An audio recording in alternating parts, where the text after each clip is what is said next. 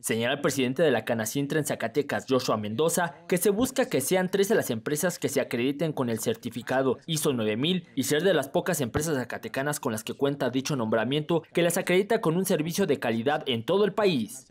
En el, caso de la acreditación de las empresas, eh, cerramos ya el proyecto de certificación en ISO 9000. Ahorita ya el mes de eh, abril, que tuvimos un cierre ya, eh, prácticamente el 80% de las tres empresas que estábamos certificando ya aprobaron eh, la parte de certificación. Solamente estamos esperando a tres empresas de ellas que están todavía, eh, que tuvieron algunas observaciones, que están resolviendo las observaciones que les entregó el organismo acreditador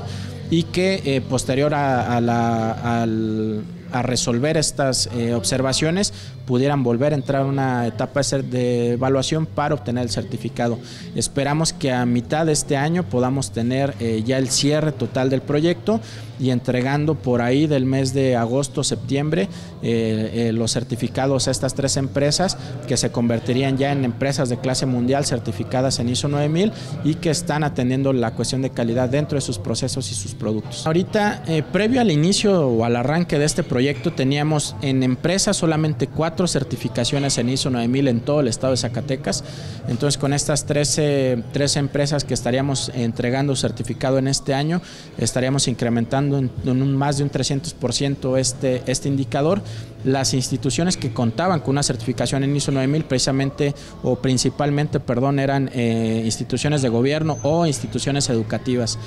De ahí la importancia que más empresas se puedan, eh, eh, puedan entender que la certificación, que los modelos de calidad son importantes para establecerse y posicionarse en el mercado y con esto buscamos que de manera posterior el clima de negocios empiece también a, solicitar a las empresas a que participen en este tema. Con imagen de Alberto Hernández para B15 Noticias, Oscar Hernández.